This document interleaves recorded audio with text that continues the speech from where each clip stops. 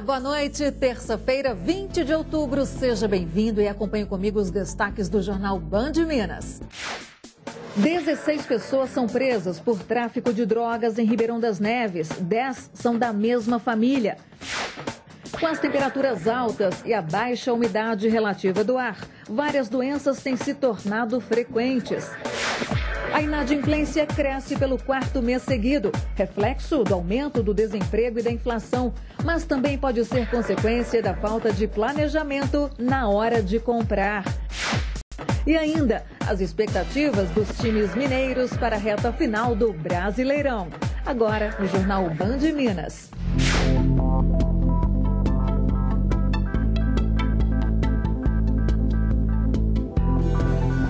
Polícia Civil prendeu 16 pessoas suspeitas de tráfico de drogas na manhã de hoje em Ribeirão das Neves. Entre os detidos, 10 são da mesma família, conhecida na região como Família Metralha. As investigações começaram há pouco mais de um ano. Os policiais trabalhavam no combate ao tráfico de drogas no aglomerado do Borel, em Ribeirão das Neves, quando prenderam 10 pessoas da mesma família, conhecidos como Família Metralha. Os outros seis suspeitos foram descobertos porque forneciam o material que era trazido de São Paulo.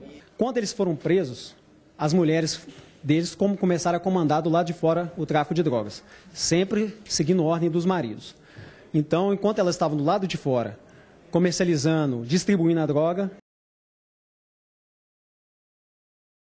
da região. Durante os trabalhos, os policiais descobriram que um dos integrantes trazia de outro estado 3 quilos de cocaína dentro de um ônibus de linha.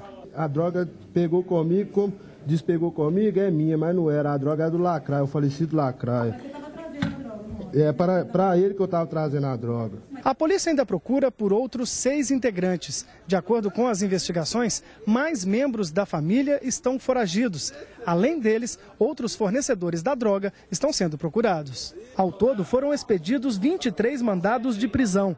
A polícia continua as investigações para tentar localizar os suspeitos. Tem algumas pessoas ainda foragidas que nós estamos em, buscas, em busca de localizá-las e já tem outras investigações contra as ramificações da quadrilha. A maioria dos presos que foi apresentada ficou à vontade na delegacia. Cássio, tido como um dos chefes do bando e apontado como suspeito de pagar uma mulher para entrar com drogas na penitenciária de São Joaquim de Bicas, estava tranquilo e confiante de que não permaneceria muito tempo preso. Daqui três meses eu tô na rua de novo aí, ó, sacudindo o bagulhão daquele naipes. Uma operação da Polícia Federal deflagrada hoje desarticulou uma quadrilha que fraudava cartões de crédito da Caixa Econômica Federal. A estimativa do prejuízo aos cofres da Caixa é de cerca de 20 milhões de reais em menos de dois anos. O grupo usava os cartões para comprar produtos no exterior que eram revendidos com desconto. Os criminosos se passavam pelos titulares dos cartões fraudados para conseguir uma autorização para compras internacionais. Foram cumpridos 13 mandados de prisão preventiva 19 de busca e apreensão em Juiz de Fora, Paraná, Rio de Janeiro e ainda Espírito Santo.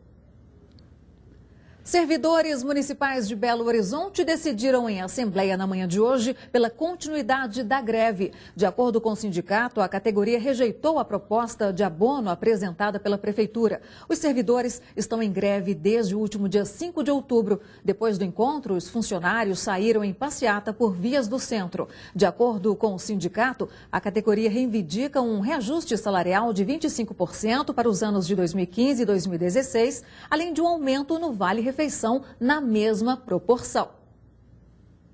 A seguir, as expectativas dos times mineiros para a reta final do Brasileirão é daqui a pouco.